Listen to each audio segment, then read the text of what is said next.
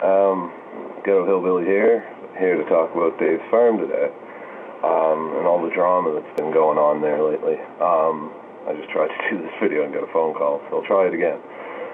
Um, as you know, um, if you're an avid watcher of Dave's Farm and uh, the rest of them, uh, Redneck Rickem, Crazy British Bloke, uh, Pug, you know, or One Pug Life, his name actually is. Um, you know, I've been watching them now for quite a few months, and uh, they, you know, in a way, they're somewhat of my inspiration. A lot of the stuff I do is similar to what they do, and they do a, a lot more what I'd like to do, but unfortunately, I just don't have the ability to do it. I don't have the place to do it, or you know, the resources, or well, I usually have the time. I'm like lately, except for I've been working so much, but anyways.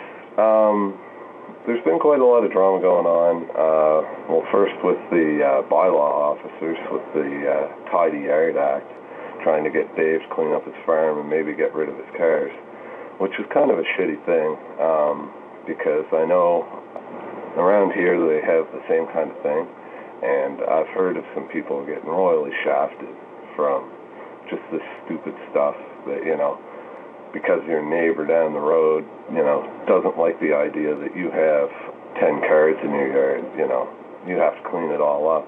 Even though, like in Dave's case, you know, he, his old derelict cars, yes, they're old and derelict, but uh, that depends, I guess, on how you, uh, how you, uh, I can't think of the word, but uh, how you explain derelict, you know, what your comprehension of that word is. Um, but you know, his his vehicles aren't derelict for the most part, just because he drives them, and the ones that he doesn't drive, he crushes and gets rid of. But also, like you know, he says and states quite frequently that you know they are props for him, and he uses them and takes videos with them and makes money from those videos.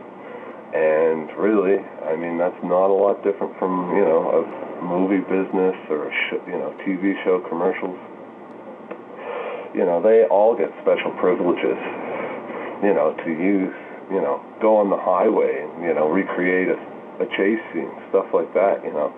They do it in public areas. He's doing it on his own private land, and I think it is a little ridiculous. I'm just hoping that uh, they don't really get on his ass and actually make him get rid of all his vehicles because I think there is some alternatives that may work.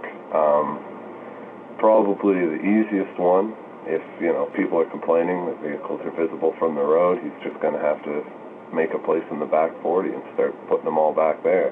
But that sucks for him because then you know they're all away from the building, and that's where obviously you need them close to, because you got to work on them all the time because they're old beat off junkers basically. But you know, I, I think that really sucks. But that's a hate, you know. Mostly, I think that's the haters getting on him uh, I doubt that it's his neighbors. If his neighbors have problems, I think they probably just come and tell him. Because most neighbors do that. Uh, they don't use, well, hard to say, I guess. Depends on where you live.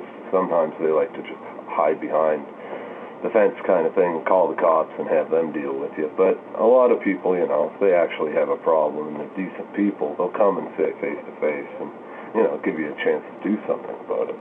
At least I'd hope, you know. I know if I was in the same case, I'd hope my neighbors did the same thing, but I'm not.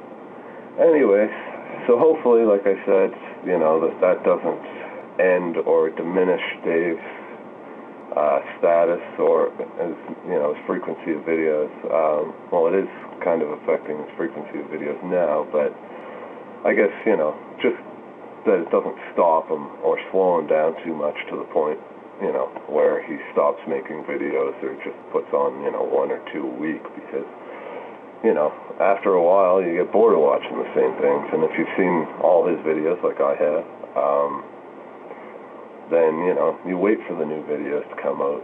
And lately, you know, there's been so much crap going on. Most of the videos are just, you know, about the crap. Um, the other thing I was going to touch on was uh, One Pug Life. Uh, sorry to say, broke his back there a while back. Most people already know about that. And some people, it's actually distant memory. it, it's been a little bit. Um, I actually did mean to do videos about these back when they happened, Um, but I just, like in my other video, if you've seen that yet, uh, I haven't had the chance because I've been working so much. I haven't even picked up my camera for about, you know, three weeks. But it's very sad to see that uh, Pug broke his back.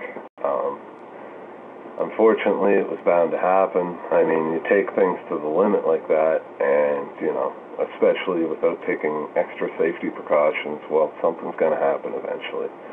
I know I do some crazy stuff myself, and, you know, I can't really say too, too much. I've been very lucky in the past that nothing like that has ever happened to me, but, uh, you know, if you push things to the max like that, I mean, friggin', you know, an old beat off Winnebago, you know, you can't jump that and not expect something bad to happen. They're not made to jump, you know.